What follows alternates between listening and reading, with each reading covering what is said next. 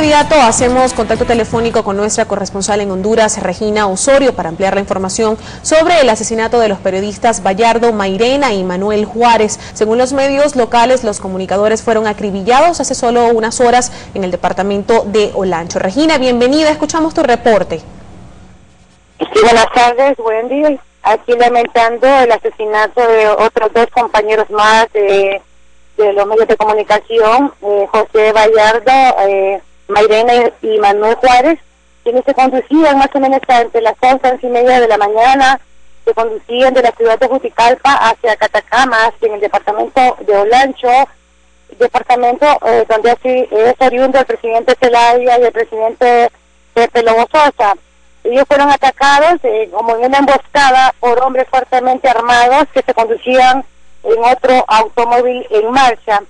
El compañero Mairena murió en ese mismo instante y el colega eh, Juárez fue trasladado de inmediato a un hospital cercano donde se trató de salvarle la vida, pero penosamente se nos ha marchado.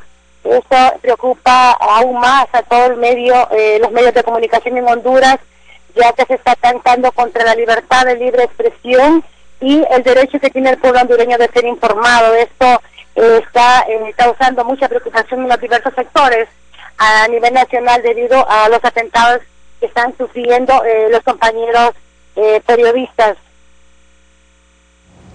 Regina, ¿se tiene conocimiento de quién o quiénes podrían estar cometiendo estos asesinatos contra los periodistas en Honduras?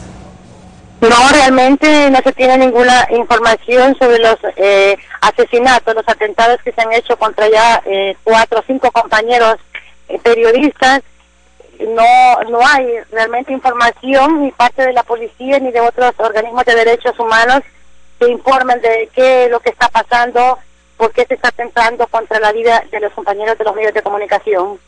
Regina, ¿hasta ahora ha habido algún pronunciamiento por parte del gobierno?